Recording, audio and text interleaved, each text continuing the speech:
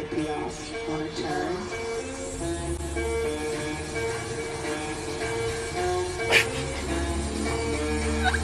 Steffen Mopsie are considered long shots for an individual medal. They were ranked 11th in dressage scores after the Grand Prix and 8th after yesterday's Grand Prix special. Alex, come look at this rave horse.